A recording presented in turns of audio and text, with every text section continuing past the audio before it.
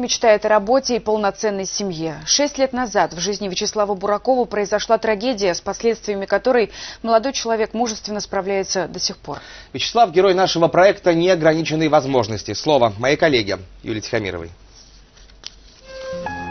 27 лет. Впереди целая жизнь. Окончен вуз, пройдено собеседование на престижной работе, почти сделано предложение любимой девушке. Все перечеркнула одна ночь. На мотоцикле друга на скорости всего 40 км в час. Техническая неисправность, удар, потеря сознания. Очнулся минут через 40, наверное. В принципе, понял сразу, как бы с медициной знаком неплохо, и подозрения-то сразу такие, что, блин, я попал. В больнице Вячеслав спросил у доктора, «Я буду ходить?» Тот ответил, «Ты выживи сначала». А дальше сложнейшая операция и долгие недели в больничной палате. Диагноз – перелом позвоночника. Какие чувства и эмоции тогда испытывал молодой человек, известно только ему.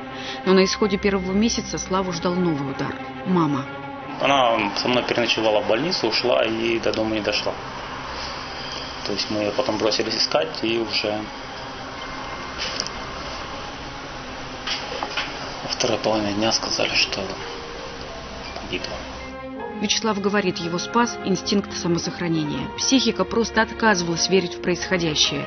И наш герой настраивал себя на борьбу как мог. Делал я все изначально сам. Пытался сделать, никого не, нет, не просить, не трогать. Потому что просить очень не люблю.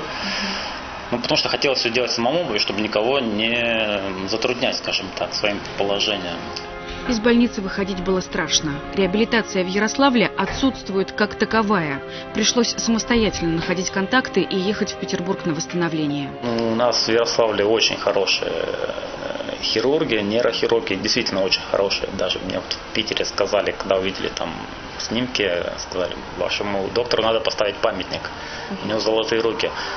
Но, к сожалению, вот в плане реабилитации, в плане какого-то социальной адаптации даже у нас ничего нет. После Питера словно открылось второе дыхание. Слава вместе с отцом оборудовали комнату. Купили тренажер Дикуля, стенку с коленоупорами, велосипед.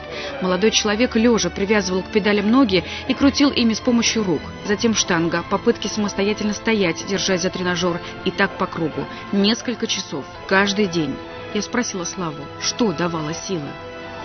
Нужно бороться обязательно. Нужно заставить себя поверить в то, что ты можешь, в то, что ты должен жить, что ты должен бороться, что ты должен искать выход из этой ситуации и прилагать максимум усилий. Нужно поверить в себя в первую очередь. Нужно верить в себя, любить себя. Нужно себя ругать обязательно. Без этого никак, потому что мы все очень ленивы и ничего не хотим делать. Нужно себя заставлять. Нужно именно себя перестать жалеть Физическая форма Вячеслава и его целеустремленность позволили выезжать на соревнования. Этим летом в Москве на первенстве по армрестлингу среди ребят с ограниченными возможностями он стал первым. Правда, уже после соревнований, ожидая награждения, умудрился сломать руку. И, вспоминая об этом, Слава смеется. Потрясающее жизнелюбие. Да потому что жить хочется, жить нравится. Ну, это же здорово жить. Доход парня – ежемесячная пенсия по инвалидности в 9 тысяч рублей. Вячеслав очень хочет работать, он многое умеет. Ему необходимо накопить на новую коляску. Ему во что бы то ни стало нужно ощущать себя сильным и надежным мужчиной. Хочу семью очень сильно, хочу детей, хочу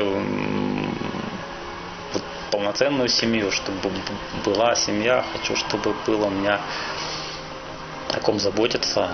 Это такая мечта, которая действительно мечта то, что там встать на ноги, это сказать, такая цель, которой я потихоньку добиваюсь, с которой иду. А вот семья это, да, действительно такая вот прям мечта. Славе очень не хватает общения с людьми. Он ценит каждое мгновение, проведенное с друзьями, а любой выход из дома для него – праздник. Без посторонней помощи доступная среда для Славы заканчивается там, где начинается подъезд. Такова наша действительность. Юлия Тихомирова, Александр Рябков, Алексей Друбжев.